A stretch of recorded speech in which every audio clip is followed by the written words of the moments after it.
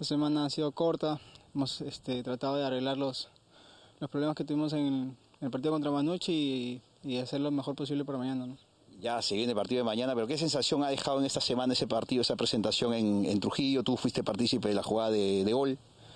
La sensación que lo pudimos ganar, estuvimos tan cerca de ganar y de estar este, prácticamente eh, salidos de la zona de descenso, pero al último una desconcentración o algo así, y nos hacen el gol.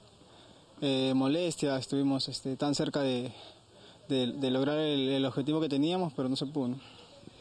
Melgar, el rival de, mañana, un doblete que suena atractivo, ¿no? Porque está cantolado en el preliminar, 5.45 contra, contra Pirata, ustedes contra, contra Melgar, definitivamente un, doblete interesante. El marco nos imaginamos, mucha gente, mucha gente rosada y, el contexto y el rival, ¿qué, qué de todo esto?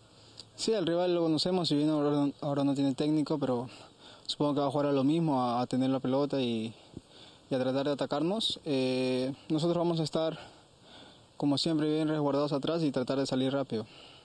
El equipo en Trujillo jugó con un punta, en el caso de Pengo que no va a poder actuar en esta oportunidad por acumulación de tarjetas amarillas, lo más probable es que arranque Sebastián Latorre, están jugando con volantes externos, con, Chávez, con, Rojo, Manco viniendo de, atrás, de, detrás de, del 9, con mucho volumen ofensivo, ¿no? y cuando tú ingresas también ingresas eh, por la banda.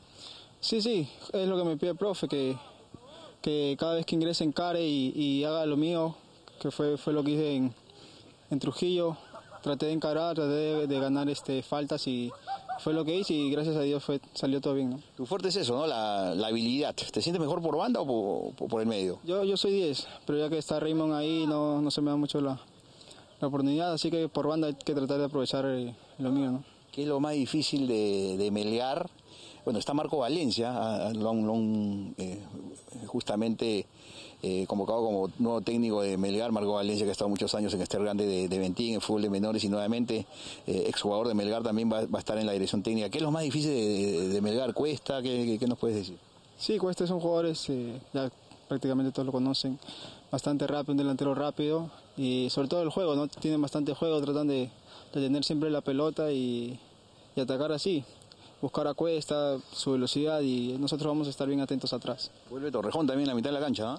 Sí, sí, vuelve Torrejón, vuelve, Sebas que, que estuvo lesionado la semana pasada, así que vamos, vamos, vamos a estar ahí. Y el equipo ya, ya, interpretó la idea del técnico, ¿no? A estas alturas ya los, partidos que han jugado con, con, el entrenador, ya la línea de cuatro, más comprensible, ¿entiendes tú, para el futbolista eh, peruano? Porque están jugando con cinco todo el año, con tres centrales.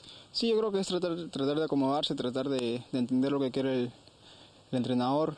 Eh, ya estamos, hemos captado la idea del profe y tenemos que, tratar de hacerlo lo mejor posible para, para salvar la categoría. ¿no? Perfecto. ¿Eh, ¿Concentran? Sí, ahora más tarde concentramos. Más tarde concentran. ¿A qué hora los han citado? Eh, todavía no en la citación, pero supongo que a las 7, 8. Listo. José,